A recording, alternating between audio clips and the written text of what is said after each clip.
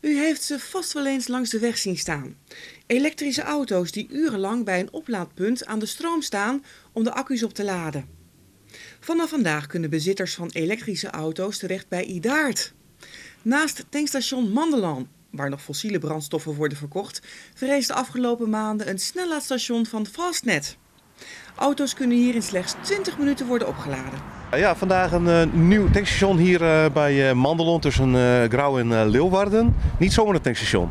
Nee, het is een snellaadstation voor elektrische auto's. En je kan hier je auto binnen 20 minuten snel laden.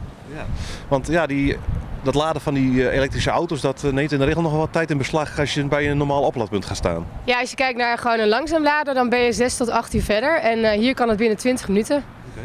Dit is uh, niet het eerste tankstation van uh, Friesland, geloof ik. Nee, het is het tweede snellaadstation. We hebben er ook eentje bij de Weren, uh, net onder Heerenveen. En dit is inderdaad het tweede station. Fastnet is druk bezig met dit stations uit de grond te, te, ja, te rammen, zeggen we dan altijd. Ja. ik zie hier mooi op het dak ook allemaal zonnepanelen. Die, die, die, die natuurlijke energie is wel belangrijk voor jullie, denk ik. Uh, ja, zeker. Nou ja, je moet toch een dak hebben en waarom dan niet zonnepanelen? En daarmee kunnen we dan onze eigen stroom voor een deel uh, voorzien. Daarmee hebben we ongeveer twee tot drie laadbeurten per dag. en de rest komt van Green Choice, ook groene stroom. Ja. En nou, je zegt van het gaat in 20 minuten, dan kun je de auto's hier opladen. Um, ze staan hier dus wel even een tijdje. Ja, ze staan hier wel even een tijdje. Wat we zien, we hebben wifi op de stations. Uh, mensen kunnen hun mail checken. Ze lopen even naar het benzinestation voor een kop koffie. Ja, dan is die 20 minuten zo voorbij eigenlijk. Ja.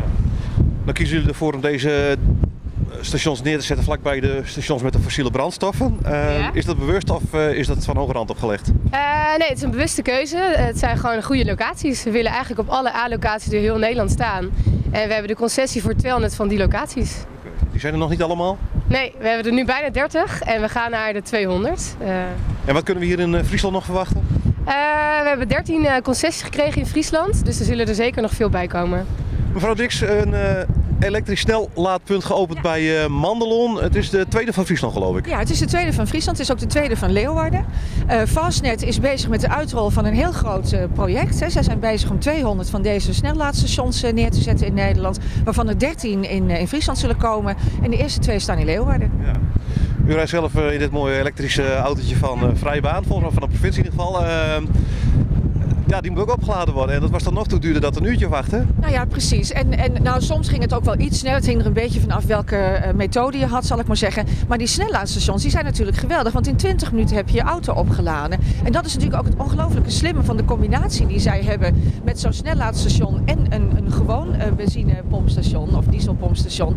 Uh, waarbij je gewoon je auto aan de lader kunt zetten. En in het pompstation even een broodje kunt eten, koffie kunt drinken of wat dan ook kunt afrekenen. En in die 20 minuten dat dat duurt, heb jij je auto opgeladen.